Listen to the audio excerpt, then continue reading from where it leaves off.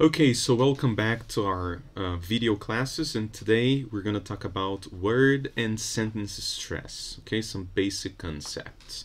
So to begin with, in English, any syllable in a word can be, might be the stressed syllable, okay?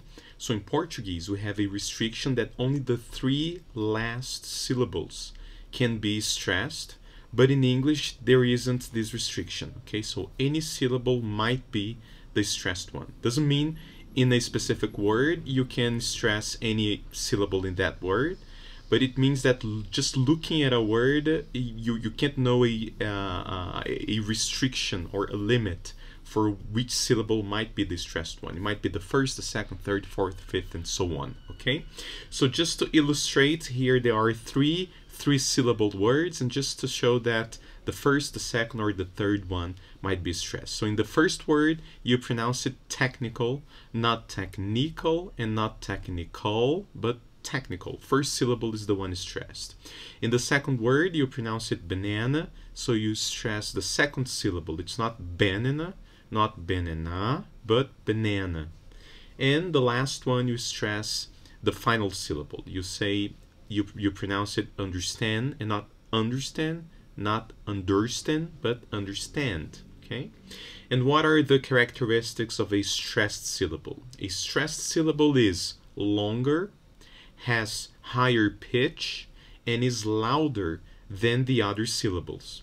So you see that the characteristic of a stressed syllable has a comparative in, in the term. We don't say that the stressed syllable is long, has high pitch and is loud because a stress has to do with relative prominence. So stress, we can only talk about stress when comparing a syllable to other syllables. Okay, so the stress syllable is longer, has higher pitch, and is louder than the other syllables in the word, and especially than the neighboring syllable or syllables. Okay. Now, the most common vowel in English is the schwa, and we already talked about this when we were talking about vowels. And one of the reasons is because in connected speech, all unstressed vowels can be reduced to schwa. So when we were transcribing individual words, uh, many of the unstressed uh, vowels were transcribed as schwa, but some were not. But then in connected speech, all vowels might be reduced to schwa. That's why schwa is the most frequent, most recurrent uh, vowel in English. Okay. Now there are some uh, uh, books that come up with these uh, tendency, not not not even rules, right? I, I know it's written some rules, but I would say some tendencies, okay? Because there are many exceptions. So these are just like tendencies of the language, all right? So for core vocabulary, many everyday two-syllable nouns and adjectives are stressed on the first syllable. Example: mother, water, paper, table, coffee, lovely, etc. Now, prefixes and suffixes, they are usually unstressed, okay? So you have quiet, uh, stressing the first syllable, you add this ly for adverb, you keep the same uh, stress pattern, okay? You say quietly. You have original, uh, stressing the second syllable, you add the ly for adverb, you keep the same stress pattern. The same syllable is still stressed originally. You have uh, effective, uh, you add this prefix, you keep having the same syllable as the stressed one, defective. Okay. Now there are some suffixes that attract stress. We're going to see them in a while. And there are some uh, suffixes that uh, change the stress syllable. An example that comes to mind is uh, the ity, ity uh, to make adjectives become nouns. For, so, for instance, you have electrical, electrical. You, you stress lack, right? Electrical. You add ity at the end to make it a noun. You you change the stress to electricity. So then you you end up stressing the third syllable and not the second anymore. Okay, so this also happens. Now with compound words, if you have compound nouns, the first word is the one stressed okay so for instance you have the word newspaper. news is a word paper is another word if you put them together it's a, th a third different word right it's a compound noun so when you put them together to create this new word you stress the first one. You say newspaper. Same thing with teapot. You have the word tea, you have the word pot, you have the word teapot, which is a compound noun. You stress the first one. Okay, same thing for crossword. Okay, for blackboard, uh, and and so on. We're gonna see many examples in uh, uh, in the exercises. Okay, now why is this important? Because when you have the compound noun, you stress the first element, the first word. When you have this the same or a similar phrase, but it's not a compound noun, but it's an adjective plus a noun, then you stress the noun. Okay. For example, look at this first example on this slide. If you have uh, uh, the compound noun greenhouse, you stress the first word, greenhouse. There is the word green, there is the word house, and there is the compound noun greenhouse, which is that house made of glass to grow plants in it. So you say, I have a greenhouse in my property. Okay, it's it's not even green. It's green because it has plants inside, but the house is made of glass, right? And then there is the greenhouse effect. Okay, the the, the that polluting effect that uh, causes uh, global uh, climate to rise. Okay, greenhouse. If you say greenhouse, if you stress house instead of green, then it's not the compound noun anymore, but it's an adjective plus a noun. It's it means that it's a house that is green. So if you're looking at a house that is green, you say that you live in a green house. But if you have that glass thing to grow plants, you say that you have a greenhouse greenhouse versus greenhouse. Okay? Same thing for the next example. If you say a hard drive, it's that computer uh, part. Okay? It's the, the memory of the computer, the HD. It's a hard drive. But if you had a difficult journey by car, you can say that you had a hard drive. So hard drive versus hard drive. Hard drive is a compound noun. Hard drive is an adjective plus a noun. All right. Same thing with the White House. If you say the White House, it's where uh, the president of the United States lives and works. Okay, the White House. But if you happen to live in a house that is white, you say that you live in a White House. White House, and not in the White House. Uh, if you have a pronoun plus a verb, yeah, as in the next example, you stress the verb. You say ice cream which is uh, different from the compound noun ice cream. Ice cream, ice cream, okay? Now, there are some words uh, in English that they have dual roles, and uh, uh, you can specify that in pronunciation by stressing the correct syllable, okay? And uh, nouns, when the word has the function of a noun, uh, the stress is on the first syllable, and when the function is that of a verb, the stress is on the second syllable. So some examples here. You say the import and the export of a country. That's the noun. But the country imports and exports the verb, right? You say uh, he is a rebel, the noun. And he's going to rebel against something, the verb, okay? You say the increase, the noun, and you say to increase. The decrease, to decrease, the object to object, the project to project, uh, the present to present, uh, the record to record. Okay, so here here there is a nice pattern. The noun is stressed on the first syllable and the verb on the second when you have these dual roles in some words. Okay.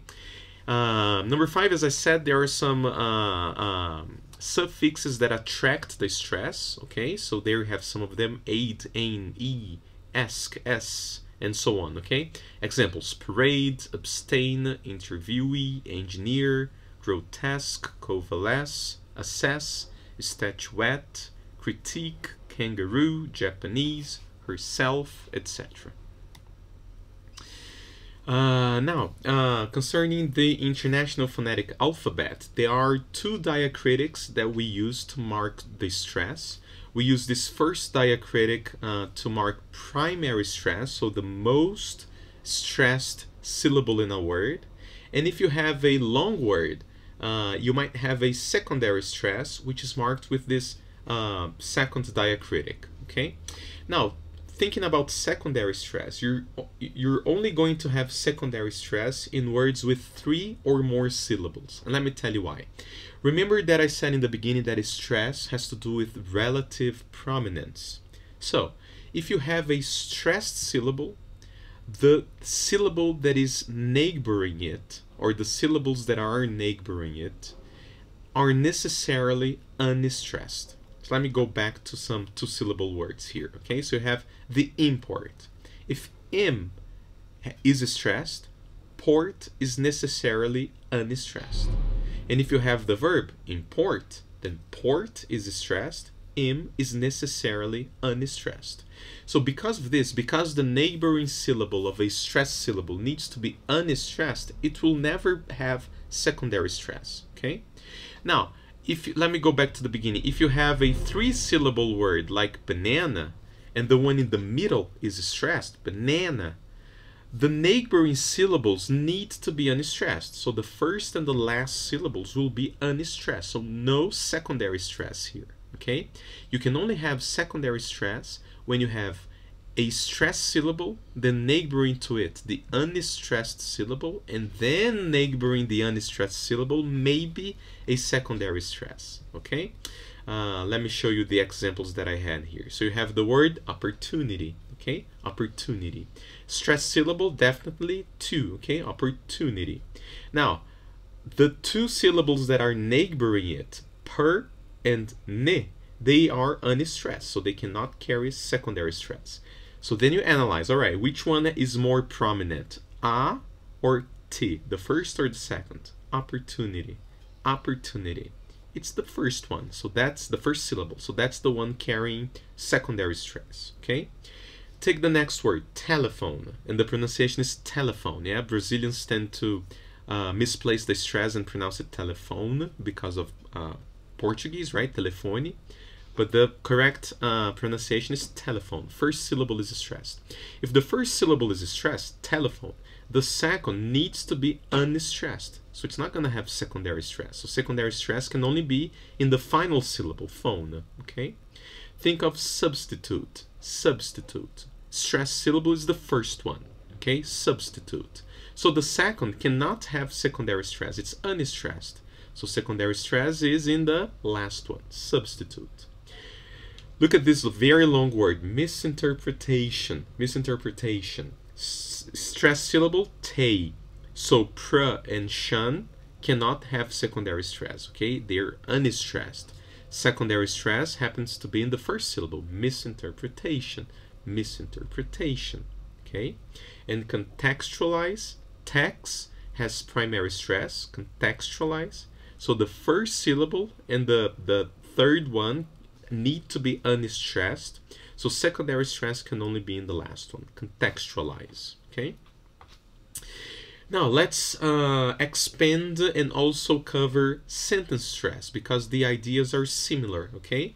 If in word stress we were thinking about the stressed syllable within a word, in sentence stress we're going to think about the stressed word within a sentence. And if that word has more than a syllable, it's going to be the stressed syllable of that word, okay? Now, there are some, uh, I wouldn't say rules, but again, tendency or patterns, okay? Things to, uh, to pay attention to. So the first one is that content words will tend to carry the stress more than function words. So nouns, verbs, adjectives, and adverbs will tend to carry the stress more than prepositions, pronouns, conjunctions, and articles. Okay? So in these examples, we have uh, in some sentences only content words like Bob sees Betty. In some of them, we have uh, function words like he sees her. We have two pronouns, right? Now, within the content words, we also have a hierarchy of stress, okay? So in the first sentence, we have a noun, a verb, and a noun. When you have this sequence, subject, verb, object, noun, verb, noun, the nouns will be stressed and the verb will be unstressed. So you're going to end up saying Bob sees Betty and not Bob sees Betty. It's going to be Bob sees Betty. Bob sees Betty. But when you change the nouns to pronouns, then you have function words, and then the verb will carry primary stress. So you're gonna say he's Caesar, he's Caesar, and you're and, and then already going to uh, a, a future topic, which is features of connected speech. This her, you can have an, an elision of the initial sound and just say er, er, he's Caesar. Okay, so no, notice the difference. Bob, Bob sees Betty, he's Caesar. Bob sees Betty, he's Caesar. Okay?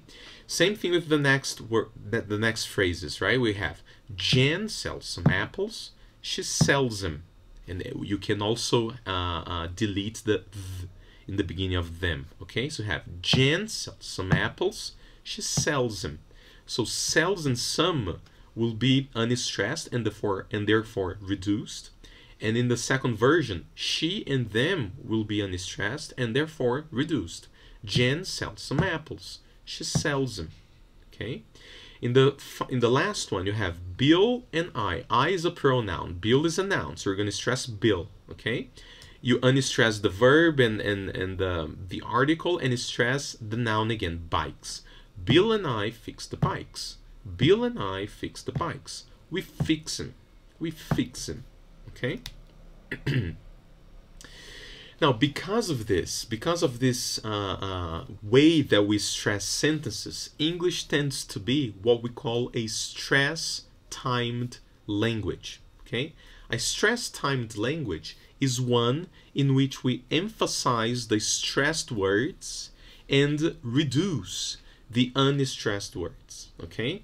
So going back to these phrases, instead of going like Bob sees Betty, he sees her, we end up reducing the unstressed words to create this rhythm.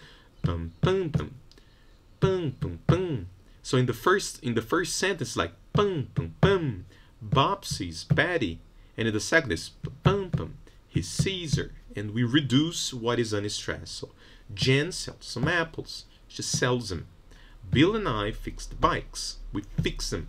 Okay, this creates this uh, rhythm in English. All right.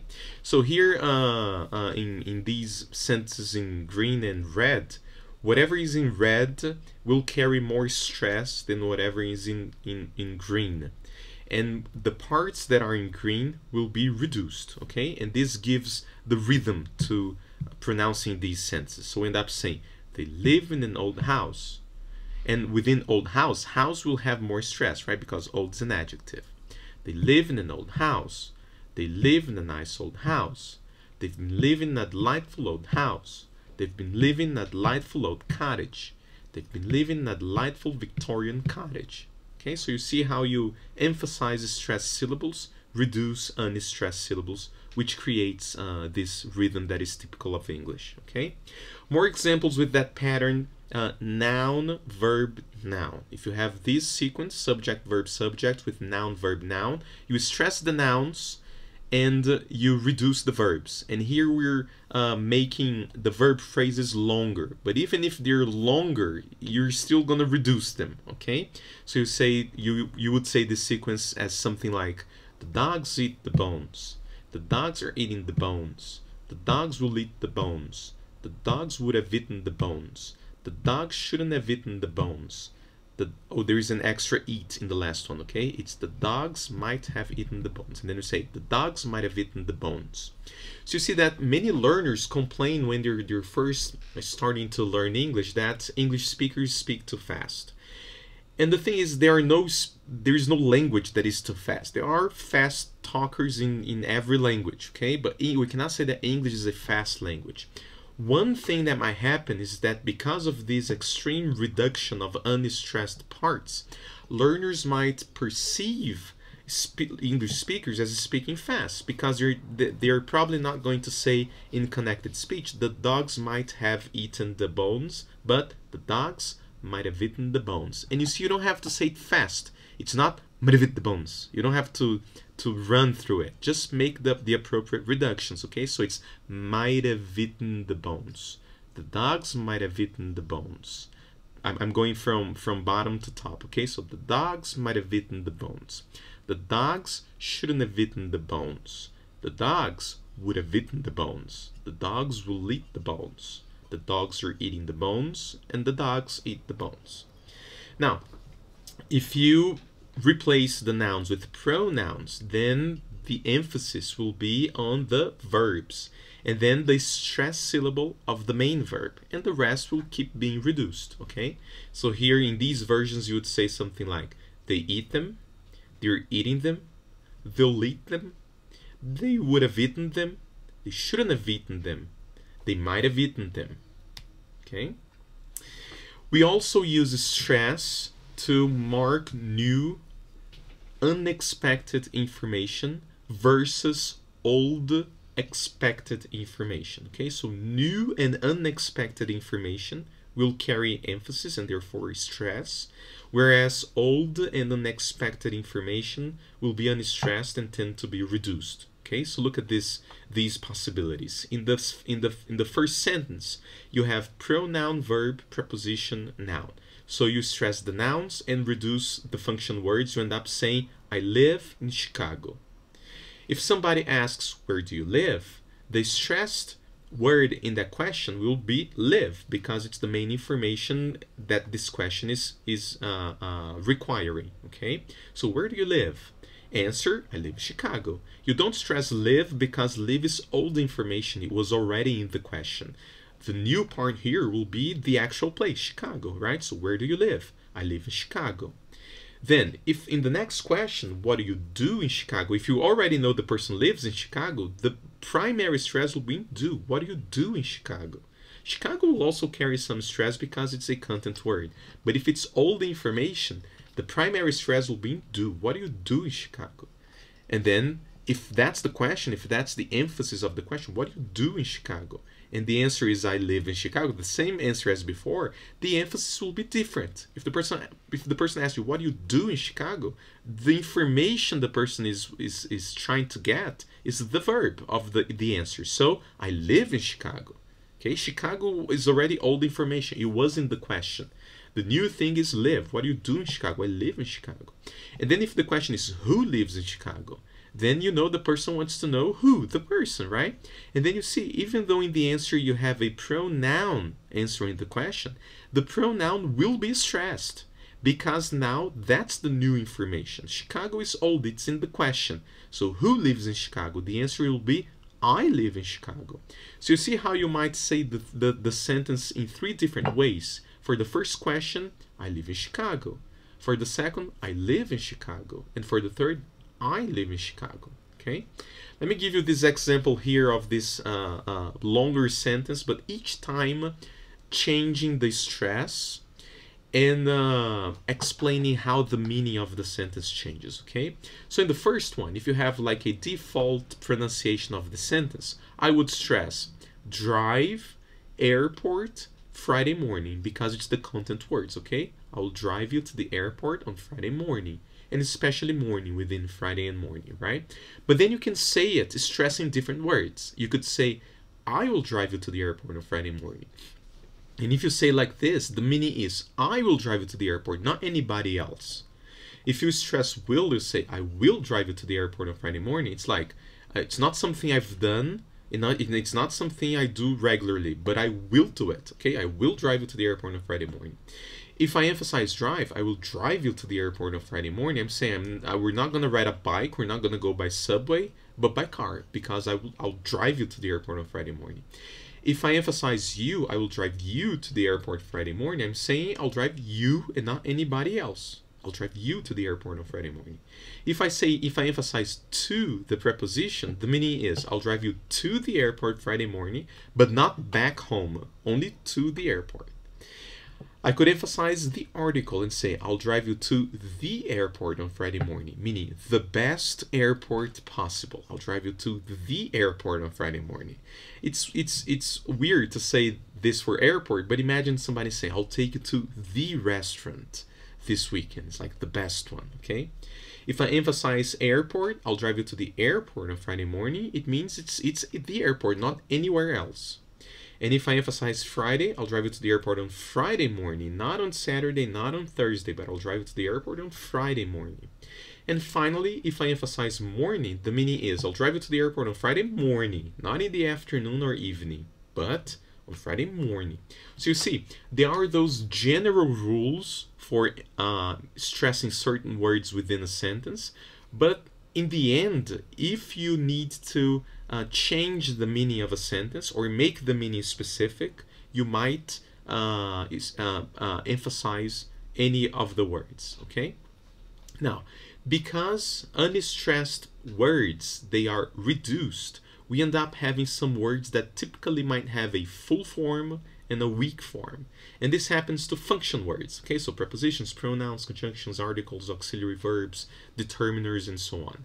They have a full form, which is probably the transcription you'll find in the, in the dictionary, and the way you say the word when it needs to be emphasized, particularly emphasized. And there is a weak form, which is how you say it when it's reduced in regular uh, connected speech pronunciation. And it's it's usually with the schwa and sometimes losing some other sounds. Okay, so for example, take the word do.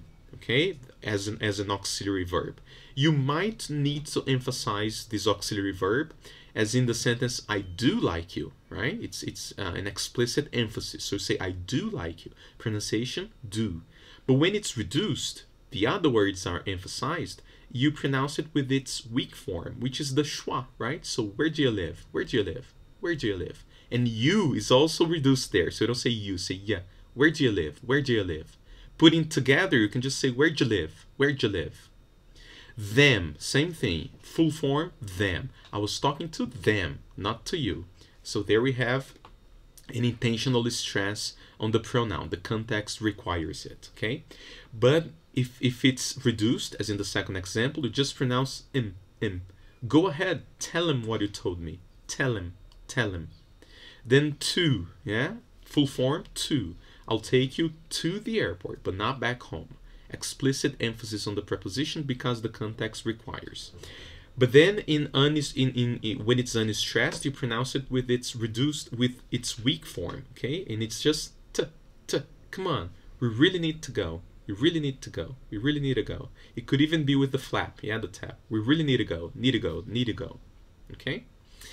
Look at these examples, transcribed with the full forms and then transcribed with reductions. Okay, so the the sentence he could have gone the way I pronounce it now, it's transcribed on the top line. He could have gone. It's how you're going to find the transcription of each individ individual words in the dictionary.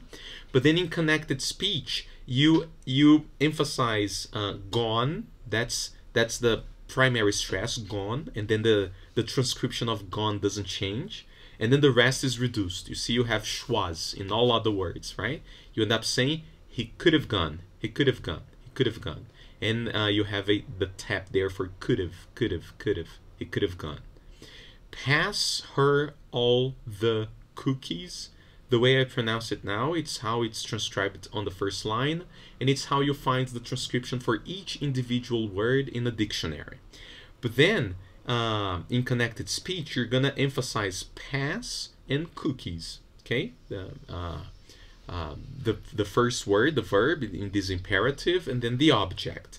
The rest, so, so those two words, the transcription doesn't change, pass and cookies. But then uh, the part that is in the middle, her, all, the, it's to get reduced to pass her all the cookies. Pass her, so her will, will be er. Then all the will become all, all.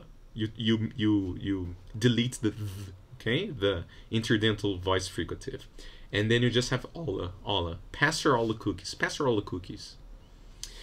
Leave him alone. Full form uh, across these words. That's how you find them transcribed in dictionaries. But then in connected speech, you emphasize leave and alone. So the transcription of leave and alone is the same. But then him, you reduce it to im, im. And you end up pronouncing leave him alone, leave him alone.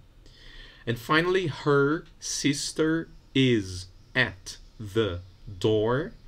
That's the transcription on the first line and how you find each word transcribed in the dictionary. But in connected speech, you'll emphasize sister and door, the nouns, okay? The rest is all function words, and they're all gonna be reduced to her sister's at the door, her sister's at the door. Her will become her.